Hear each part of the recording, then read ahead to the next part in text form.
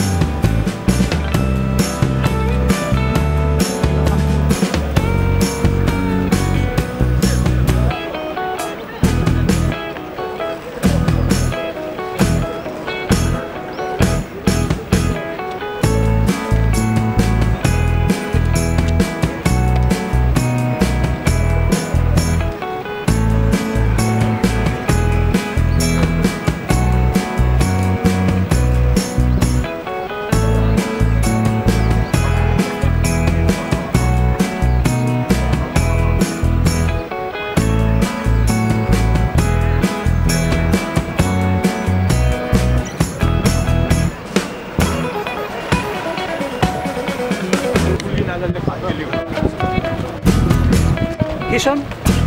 خلاص. خصص. شو اسباب الخساره اليوم؟ الاستقاله ديالو الله يحفظك هشام شي اسباب جمال شنو هي أسباب الهزيمة اليوم جمال؟ هشام أبو سروان.